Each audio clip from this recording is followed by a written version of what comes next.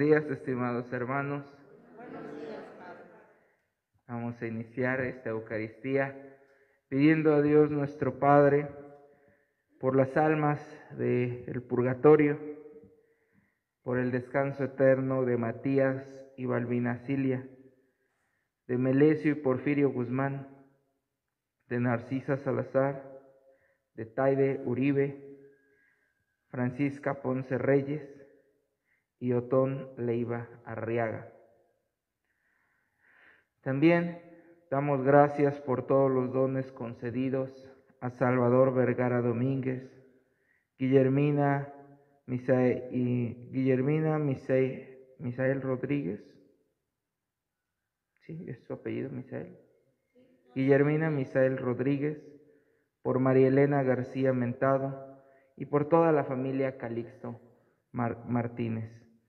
Pedimos por ellos y por cada uno de ustedes aquí presentes por sus intenciones, por sus necesidades, por aquellos familiares nuestros que se encuentran lejos. Los ponemos hoy en manos de Dios nuestro Señor e iniciamos llenos de fe esta Eucaristía en el nombre del Padre, del Hijo y del Espíritu Santo. La gracia de nuestro Señor Jesús, el amor del Padre y la comunión del Espíritu Santo esté con todos ustedes reconociendo que muchas veces fallamos, que somos limitados. Le pedimos perdón a Dios diciendo todos, yo confieso.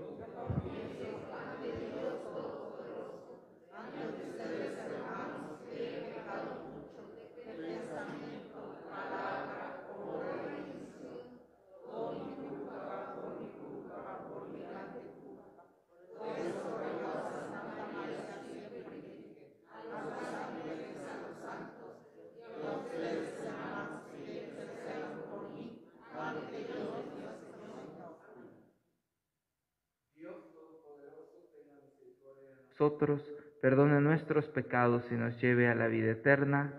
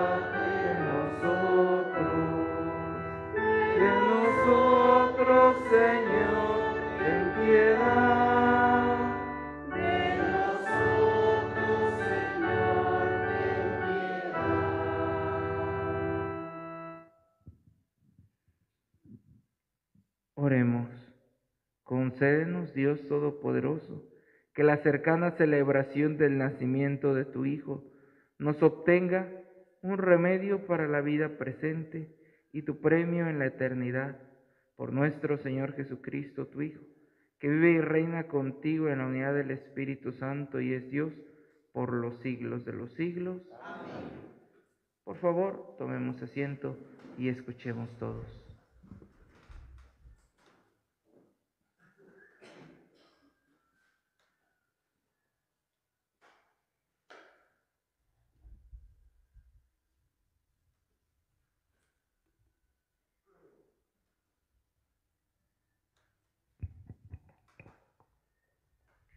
Del libro del profeta Isaías. Yo soy el Señor y no hay otro. Yo soy el artífice de la luz y el creador de las tinieblas, el autor de la felicidad y el hacedor de la desgracia. Yo el Señor hago todo esto. Dejen cielos caer en su rocío, y que las nubes lluevan la justicia, que la tierra se abra y haga germinar la salvación, y que brote juntamente la justicia. Yo el Señor he creado todo esto. Esto dice el Señor, el que crió los cielos y al mismo Dios que plasmó y consolidó la tierra. Él no la hizo para que quedara vacía, sino para que fuera habitada. Yo soy el Señor y no hay otro. ¿Quién fue el que anunció esto desde antiguo? ¿Quién lo predijo entonces? ¿No fui yo el Señor? Fuera de mí no hay otro Dios. Soy un Dios justo y salvador y no hay otro fuera de mí. Vuélvanse a mí y serán salvados, pueblos todos de la tierra, porque yo soy Dios y no hay otro. Lo juro por mí mismo, de mi boca sale la verdad, las palabras irrevocables. Ante mí se doblará toda rodilla y por mí jurará toda lengua diciendo, Solo el Señor es justo y poderoso. A él se volverán avergonzados todos los que lo combatían con rabia. gracias al Señor triunfará gloriosamente todos los descendientes de Israel. Esta es palabra de Dios.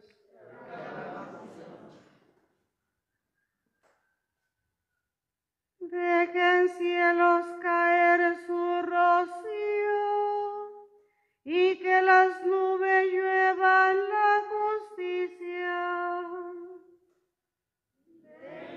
Dejen cielos caer su rocío y que las nubes Escucharé las palabras del Señor palabras de paz para su pueblo santo.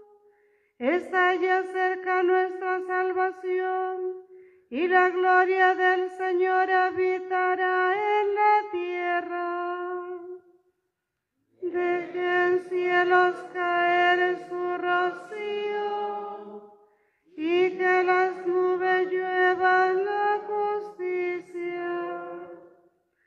La misericordia y la verdad se, encontraron, la justicia y la paz se besaron, la fidelidad brota en la tierra y la justicia vino del cielo.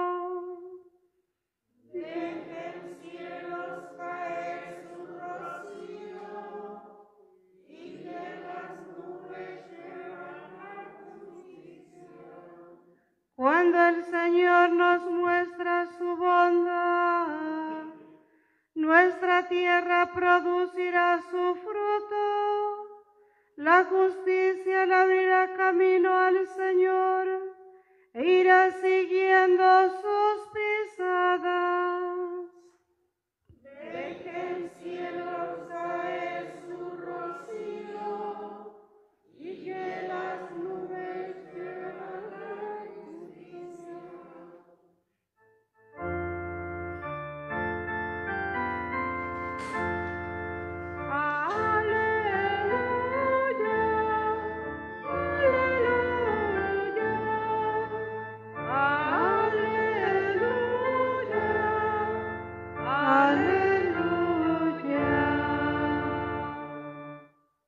Levanta tu voz para anunciar la buena nueva. Ya viene el Señor nuestro Dios con todo su poder.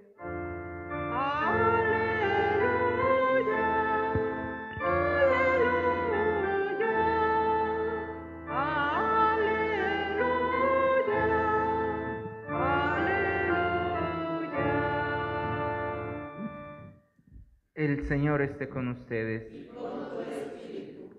del Santo Evangelio según San Lucas. En aquel tiempo Juan envió a dos de sus discípulos a preguntar a Jesús, ¿eres tú el que ha de venir o tenemos que esperar a otro? Cuando llegaron a donde estaba Jesús, le dijeron, Juan el Bautista nos ha mandado a preguntarte si eres tú el que ha de venir o tenemos que esperar a otro. En aquel momento Jesús curó a muchos de varias enfermedades y dolencias y de espíritus malignos, y a muchos ciegos les concedió la vista. Después contestó a los enviados, vayan a contarle a Juan lo que han visto y oído. Los ciegos ven, los cojos andan, los leprosos quedan limpios, los sordos oyen, los muertos resucitan y a los pobres se les anuncia el Evangelio. Dichoso el que no se escandalice de mí. Palabra del Señor. Gloria a ti, Señor Jesús. Siéntense. El día de hoy vamos pues aproximándonos más a esta celebración tan importante para nosotros del nacimiento de Jesús. Ya en alguna ocasión habíamos platicado que el adviento, es decir, este tiempo de preparación, se divide propiamente en dos momentos. Las primeras dos semanas están enfocadas o tratan de recordarnos que en realidad vivimos en, un adviento permanente. ¿Por qué un adviento permanente? Porque todos nos encontramos esperando la llegada de Jesús como rey, como juez. Cuando rezamos el credo decimos que creemos y esperamos que Jesús venga nuevamente a juzgar a vivos y muertos. Cuando fue la, fiesta de Cristo Rey y en esos días cercanos, pues les decía yo en varias ocasiones que nos encontramos esperando esa segunda venida. Hasta decíamos cómo se dice esta segunda venida de Jesús. Les decía la parucía. Entonces todos como iglesia el mundo entero, esperamos la parucía de Jesús, la segunda venida. Entonces, por eso, prácticamente estamos en un adviento permanente. Porque si somos honestos, toda nuestra vida es un tiempo de preparación para encontrarnos con Jesús. Entonces, en ese sentido, vivimos siempre en un adviento, esperando el, regreso de Jesús. Y en ese adviento permanente, pues se, va a ese adviento permanente se va a ver remarcado en las dos primeras semanas de este tiempo. Pero a partir de estos días ya empieza a, entrar la segunda parte del adviento, donde propiamente ya no solamente esperamos a Jesús que va a venir, en la parucía, sino que empezamos a recordar y a enfocarnos un poco más en ese evento histórico de hace dos mil años, que es el nacimiento de Jesús en el portal de Belén. Entonces, por eso vamos a entrar ya a esa segunda etapa, las oraciones propias de la Eucaristía, las propias lecturas, se van a ir encaminando ya a recordar, a revivir juntos ese nacimiento histórico de Jesús. Y en la antesala de ese momento escuchamos eh, este día la lectura del Santo Evangelio según San quién? San Lucas, que nos presenta a Juan el Bautista, que envía a sus discípulos a hacerle una pregunta a Jesús. ¿Qué le fueron a preguntar?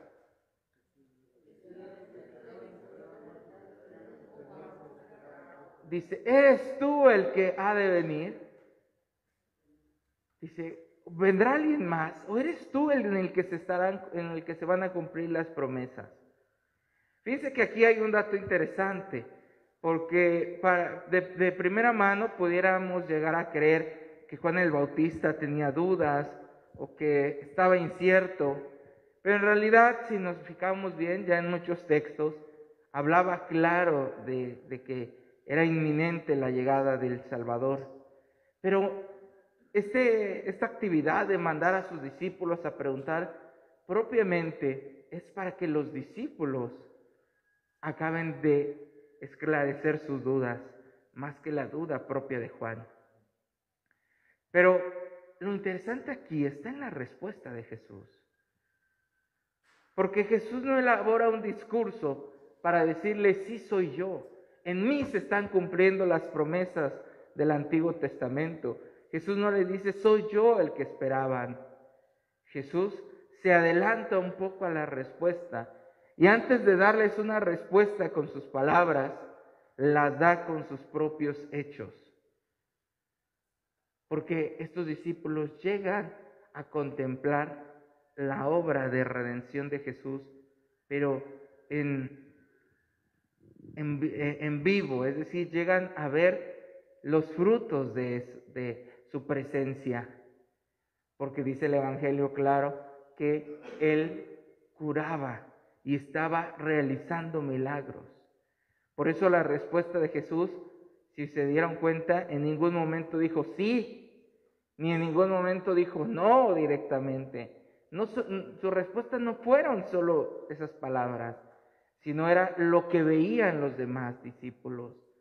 Dice, vayan y díganle lo que ven, que los cojos andan, que los ciegos han vuelto a ver, que los sordos oyen.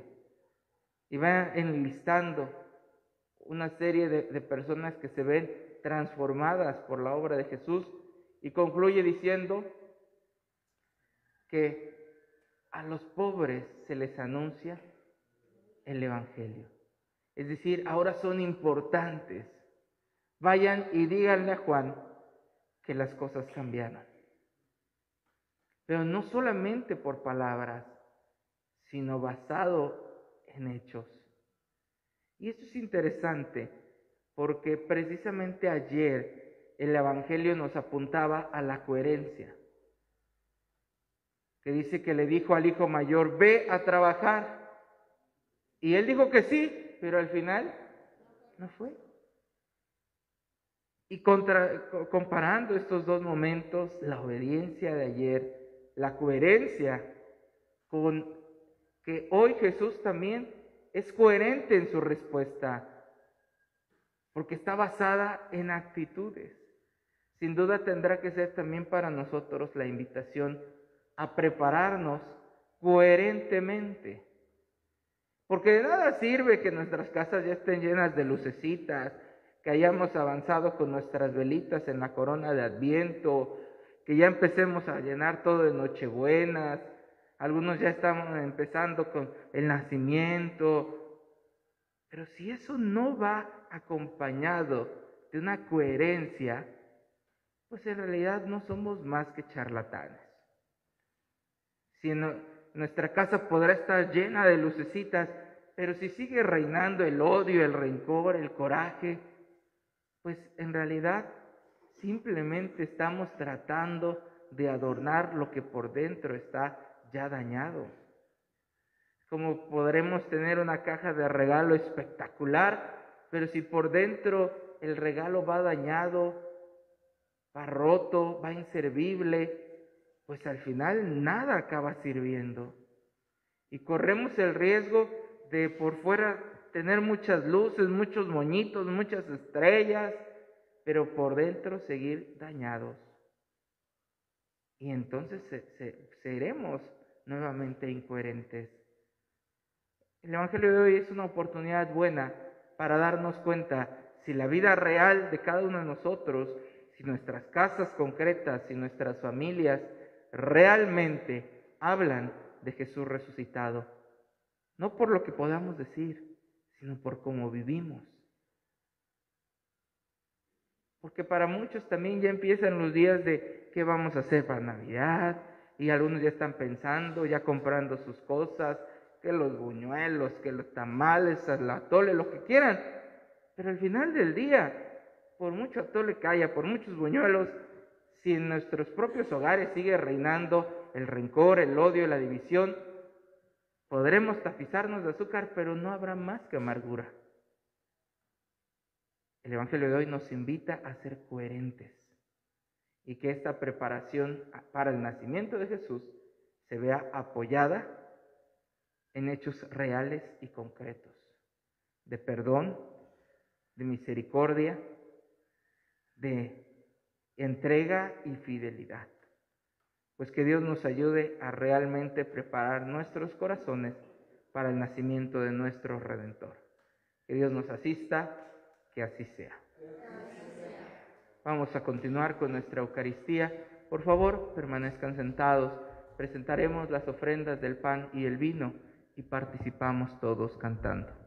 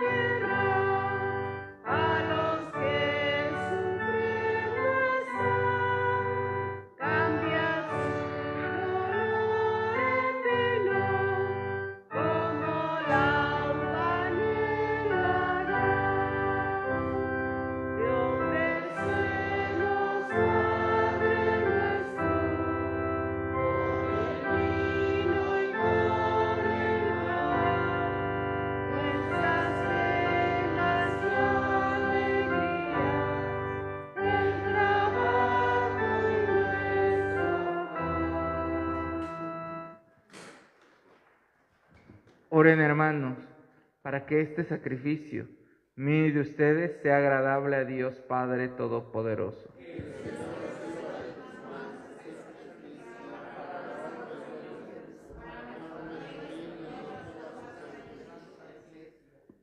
Que este sacrificio, Señor, que te ofrecemos con devoción, nunca deje de realizarse, para que cumpla el designio que encierra este misterio por Jesucristo nuestro Señor. El Señor esté con ustedes. Levantemos el corazón. Demos gracias al Señor nuestro Dios. En verdad es justo y necesario. Es nuestro deber y salvación darte gracias siempre y en todo lugar, Señor Padre Santo, Dios Todopoderoso y Eterno. Que en tu Hijo Jesucristo nos has dado al Salvador y Redentor. Por eso, en este momento, esperando el nacimiento de nuestro Salvador, unimos nuestras voces a los coros angélicos cantando el himno de tu gloria.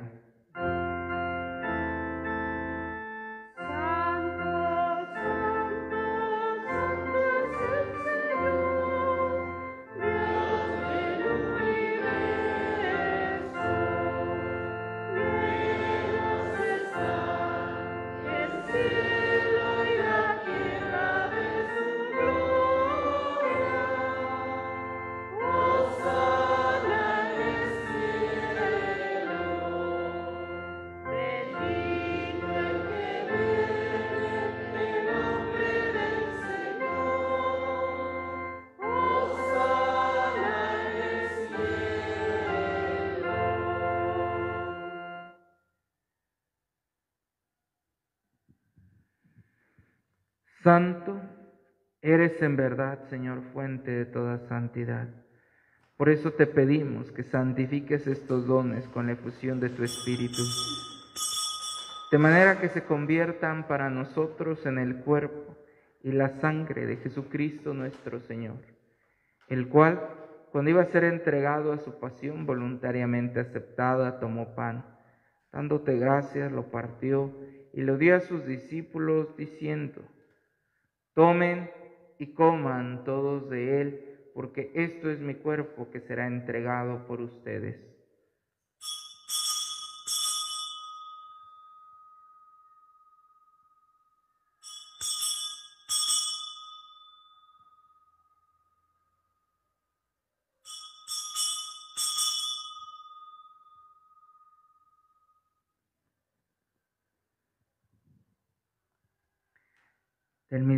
Acabada la cena, tomó el cáliz y dándote gracias de nuevo lo pasó a sus discípulos diciendo, tomen y beban todos de él, porque ese es el cáliz de mi sangre, sangre de la alianza nueva y eterna, que será derramada por ustedes y por muchos para el perdón de los pecados. Hagan esto en conmemoración mía.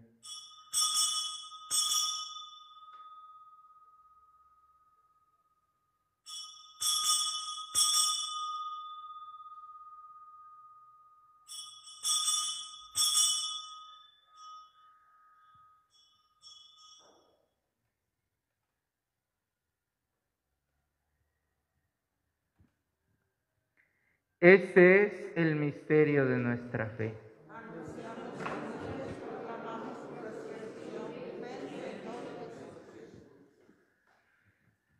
Así pues, Padre, al celebrar ahora el memorial de la muerte y resurrección de tu Hijo, te ofrecemos el pan de vida y el cáliz de salvación, y te damos gracias porque nos haces dignos de servirte en tu presencia. Te pedimos humildemente que el Espíritu Santo congregue en la unidad a cuantos participamos del cuerpo y la sangre de Cristo. Acuérdate de tu iglesia extendida por toda la tierra, con el Papa Francisco, nuestro obispo Víctor y todos los pastores que cuidan de tu pueblo, llévala a su perfección por la caridad. Ten misericordia de todos nosotros aquí reunidos, cuya fe y entrega bien conoces de tus hijos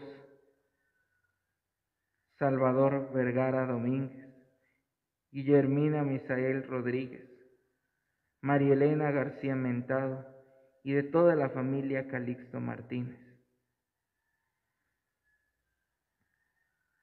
De tus hijos Matías Balbina Cilia, Melesio y Porfirio Guzmán, Narcisa Salazar, Taide Uribe, Francisca Ponce Reyes, Otón Leiva Arriaga, y por todas las almas del purgatorio, a quienes llamaste de este mundo a tu presencia. Concédeles, pues, que puedan participar algún día de la gloria de la resurrección. Y así, con María la Virgen, Madre de Dios, San José, los apóstoles y cuantos vivieron en tu amistad a través de los tiempos, merezcamos por tu Hijo Jesucristo compartir la vida eterna y cantar tus alabanzas. Por Cristo, con Él y en Él, a ti Dios Padre Omnipotente, en la unidad del Espíritu Santo, todo honor y toda gloria por los siglos de los siglos. El amor de Dios ha sido derramado ya en nuestros corazones con el Espíritu Santo que se nos ha dado. Por eso, llenos de fe, nos atrevemos todos a decir, Padre nuestro.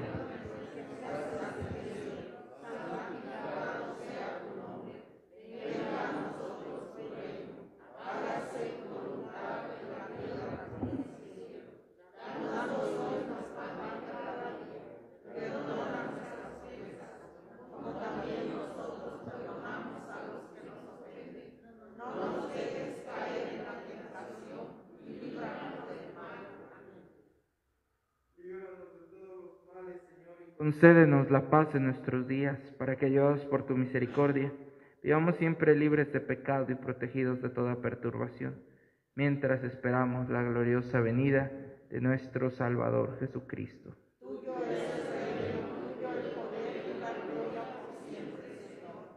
Señor Jesús, que dijiste a tus apóstoles, la paz les dejo, mi paz les doy. No tengas en cuenta nuestros pecados, sino la fe de tu iglesia.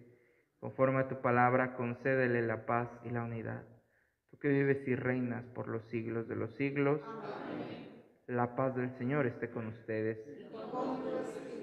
Como hijos de Dios nos damos un gesto de paz.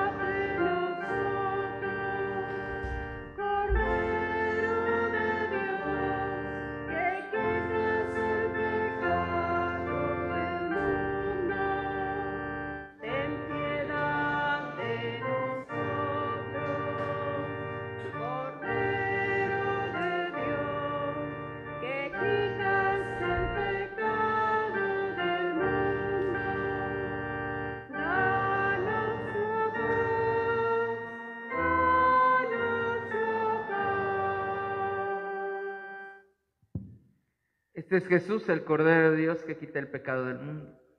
Dichosos los invitados a la cena del Señor. Señor.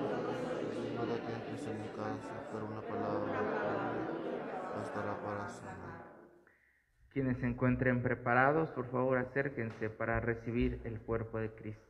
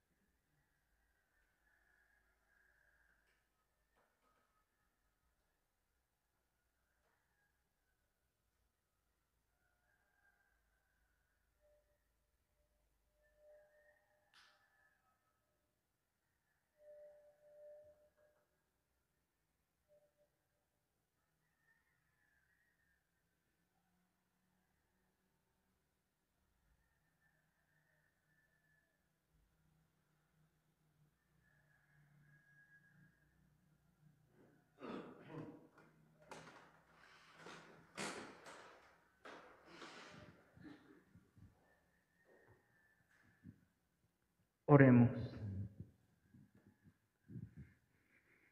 Imploramos, Señor, tu misericordia para que estos divinos auxilios nos preparen purificados de nuestros pecados para celebrar las fiestas venideras. Por Jesucristo nuestro Señor. Amén. El Señor está con ustedes. La bendición de Dios Todopoderoso, Padre, Hijo y Espíritu Santo descienda sobre cada uno de ustedes y les acompañe siempre. La fe en Jesucristo sea nuestra fuerza. Pueden ir en paz. Nos despedimos todos de nuestra Madre Santísima diciéndole, Dulce Madre, te alejes tu vista de ninguna parte. Ven conmigo a todas partes y nunca solo que nos tanto como.